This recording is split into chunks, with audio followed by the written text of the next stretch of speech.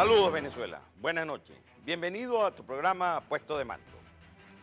Esta semana de acontecimientos en Venezuela, de acontecimientos que estuvieron signados por la absoluta confrontación permanente que existe en el país, derivado de qué? De un conflicto, un conflicto de orden político, de orden social, económico y militar.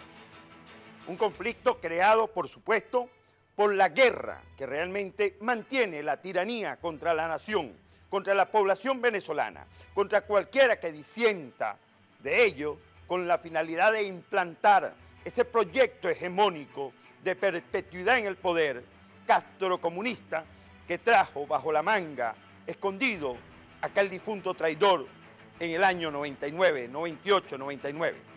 Pues se mantiene, a pesar de la lucha, a pesar de la constancia, de la resistencia contra este régimen, se mantiene. Esta semana, nuevo acontecimiento.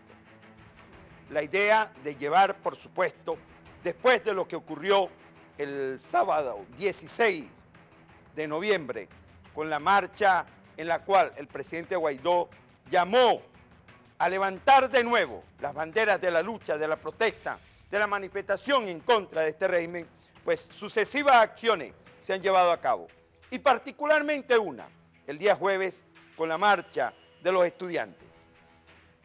Pero el programa del Mazolandro, que está asignado permanentemente y con toda responsabilidad, lo digo, lo decimos, de manipular, de engañar, de falsear la verdad, de mentir descaradamente y de tratar hacia ese público civil de seguidores de ellos, a la opinión internacional y por supuesto a la parte militar. Ese sector militar en el, en el cual se encuentra el sostén de esta tiranía. Y en el plano internacional, por supuesto, el programa estuvo asignado por llevar a cabo lo que está sucediendo en Bolivia y lo que está sucediendo en Bolivia lo coloca en un plano totalmente contrario a la realidad. Y por supuesto, tratando de defender lo indefendible de la tiranía, del proceso totalitario que llevaba a Evo Morales a consolidarse en el poder, a pesar de haber sido rechazado en un referéndum ante lo que pretendió de volver a reelegirse como presidente. La historia de Bolivia, por supuesto, la sabemos bien, bien claro. Cuando llegó al poder en, el año, en los años 2004-2006, eh, Evo Morales, pues terminó con una constitución, con una reforma constitucional que le dio lugar a una reelección inmediata de una vez. Eso mismo que llevó el proceso constituyente allá en Venezuela, el difunto traidor y que posteriormente lo rompió con una reelección indefinida, con la reforma y posteriormente con la enmienda en el año 2009. Asimismo, llegó Evo Morales eh, a la presidencia y por supuesto este proceso de, reelección. Escuchemos al Mazolandro lo que señala en torno a lo que está sucediendo en Bolivia y que persiste en mantener y, por supuesto, fortalecer desde Venezuela con su palabra y con el intervencionismo que se ha demostrado que existe en Bolivia con presencia de pesubistas o del Partido Socialista Unido de Venezuela con cubanos que están dando lugar a que se concentre, por supuesto, la lucha desde el punto de vista de lo que voluntariamente fue una renuncia de Evo Morales. Escuchemos este primer audio del Mazolando. Lo que está ocurriendo en Bolivia es un genocidio es el asesinato del pueblo boliviano, de los hermanos indígenas, por el odio racista de sectores de la burguesía boliviana, apoyados como siempre por el gobierno de Estados Unidos. El gobierno de Estados Unidos fue el primero que salió a reconocer a la dictadora genocida, que lo hacen siempre con una Biblia. Ahí está tratando de manipular de lo que sucedió en Bolivia. En Bolivia sucedió una renuncia voluntaria totalmente de parte de Evo Morales. También abandonó el país. Hoy se sitúa en México queriendo volver, queriendo regresar. Y con todos estos elementos y esta, manejo manipulador de información por parte de quien ha sido su máximo aliado, su máximo apoyo, el régimen tiránico de Venezuela, pues se mantiene esa información de manipulación y tratar de traducir que realmente hay un genocidio en Bolivia, totalmente negativo.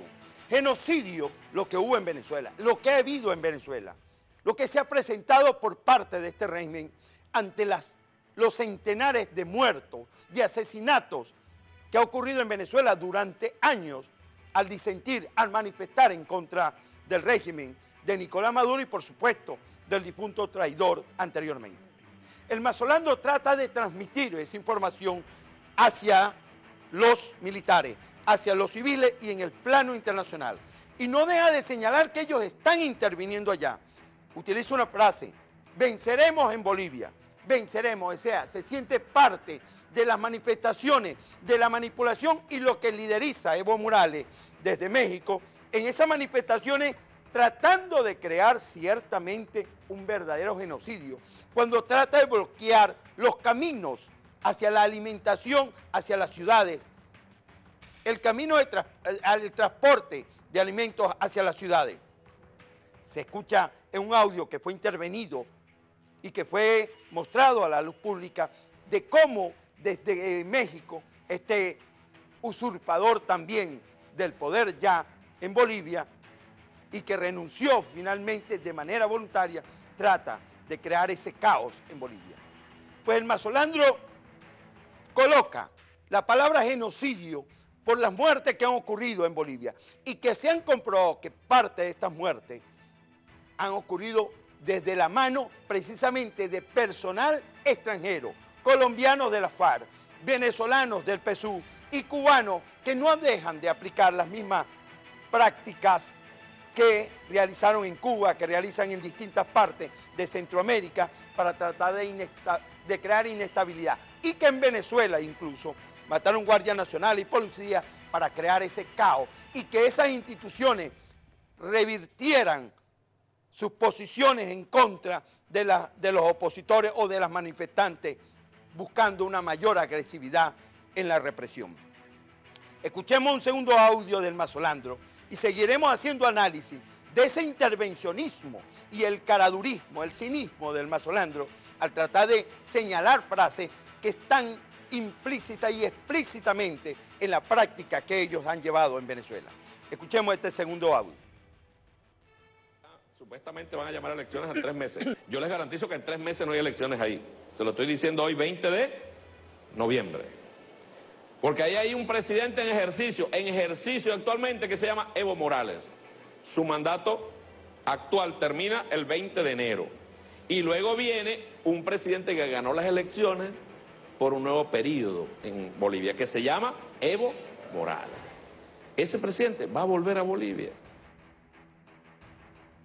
Ahí está, un injerencismo permanente, una comunicación permanente, una hilación permanente con Evo Morales y lo que está sucediendo en Bolivia. Pero posteriormente vamos a escuchar una frase del Mazolandro en torno a ese respeto que debe tener los regímenes o los gobiernos sobre lo que sucede en otros países. Nos vemos en el próximo segmento.